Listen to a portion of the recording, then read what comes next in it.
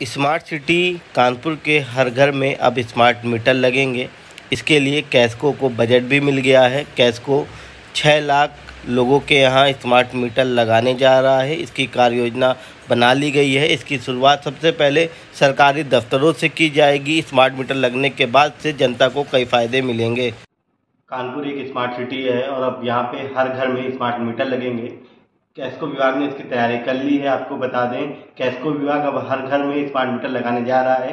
इस मामले में बात करने के लिए हमारे साथ कैस्को एमडी अनिल डिंगरा जी मौजूद हैं। उनसे जानेंगे क्या है पूरी कार्य योजना सर, क्या कार्य योजना है? देखिए भारत सरकार की एक नई योजना है आर डी एस एफ़ का, जिसमें हम लोगों ने जो है अपने सभी जितने भी हमारे एग्जिस्टिंग कंज्यूमर्स हैं या जो हमारे नए कनेक्शन लेंगे सब में स्मार्ट मीटर लगाने की योजना लाए हैं। और इसमें जैसे ही वो टेंडर फाइनलाइज होगा, उसके बाद हम सभी घरों में जो है स्मार्ट मीटर प्रीपेड लगाएँगे। अभी वर्तमान में भी हमारे कैसको में जो है लगभग एक लाख सात हज़ार जो है स्मार्ट मीटर हैं जिसमें लगभग साठ हज़ार जो है प्रीपेड है और सैंतालीस हज़ार के आसपास जो है हमारे पोस्ट पेड है। सर जो ये स्मार्ट मीटर इनकी क्या खासियत रहेगी और इनसे क्या फ़ायदा मिलेगा आम जनता को? देखिए कंज्यूमर्स के पास जो है अपने मोबाइल में डाटा उपलब्ध रहेगा कि किस दिन, किस समय मैंने कितने यूनिट्स को यूज़ किया है, कितना वोल्टेज रहा है।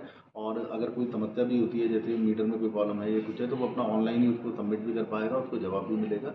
और वो अपना ऑनलाइन पेमेंट भी कर पाएगा उसी मोबाइल ऐप के थ्रू तो उसको खुद को अपना एक सेटिस्फेक्शन भी रहेगा। उसको ये भी पता होगा कि आज के दिन अगर सपोज़ करिए चार दिन वो घर बंद है और लाइट यूज़ हुआ है तो उसमें उसको अपने यूनिट्स भी दिख रहे होंगे कि वो ज़ीरो आ रहा है।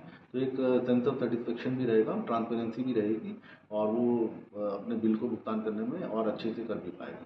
तो जो सर सरकारी विभाग है उनमें भी यही मीटर लगेंगे? बिल्कुल जितने भी सरकारी कार्यालय या हमारे आवास हैं सबको ही स्मार्ट प्रीपेड मीटर्स लगेंगे और जो हम लोग शुरुआत करेंगे पहले सरकारी कार्यालय से और सरकारी आवास से ही करेंगे। ये हमारे साथ कैश एम जी मौजूद थे जो बता रहे थे, जो जितने भी शहर में सरकारी आवास है या पब्लिक के लिए जितने भी घर हैं, सब जगह प्रीपेड स्मार्ट मीटर लगेंगे जिसमें पहले रिचार्ज करना पड़ेगा, उसके बाद वह बिजली इस्तेमाल कर सकेंगे। मैं अखंड प्रताप सिंह न्यूज़ एटीन कानपुर।